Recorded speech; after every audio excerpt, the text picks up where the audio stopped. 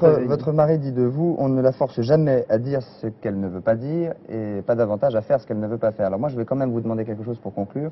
Je, ne vous, ai, je vous ai toujours connu avec un chignon. Est-ce que si je vous demandais maintenant, étant donné qu'on est euh, dans cette phase de séduction, Mm. de charme, etc., c'est vrai qu'une femme à cheveux longs est toujours différente d'une femme à chignon. Si je vous demandais de défaire votre chignon, est-ce que vous le feriez? Oh, ben, Bien sûr. Alors je vous le demande. Ben, Voilà, tout de suite. Tout de suite, si vous voulez. Vous savez, je n'ai pas toujours eu les cheveux longs et je regrette beaucoup d'avoir les cheveux longs. J'ai les cheveux longs depuis que, que je suis ministre. Enfin, j'ai commencé à les laisser pousser à ce moment-là parce que c'était euh, beaucoup, beaucoup plus facile de se recoiffer quand on est en voyage tout le Mhm. temps et qu'il faut euh, être euh, pratiquement présentable. Sinon, il faut pouvoir aller chez le coiffeur tous les jours, ce qui n'est pas, Ce qui n'est pas toujours facile. ce qui n'est pas facile. C'est la première Alors, fois peut-être qu'on euh, vous voir à la télé avec les cheveux longs. Oui, je crois. Hein? Ben, Je suis ravi. Ça m'est égal. Je suis tout à fait, moi, Ça je m'est égal. J'aime bien avoir les Je cheveux. suis tout à fait ravi.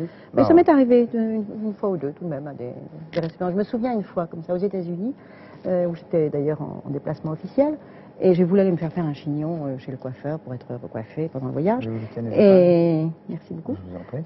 Et je n'ai pas pu trouver de coiffeur qui sache faire les chignons. Il n'a pas pu. Il m'a dit je ne peux pas. Alors euh, bon, ben j'avais qu'une chose à faire, c'était c'était accepter d'avoir euh, d'avoir les cheveux longs.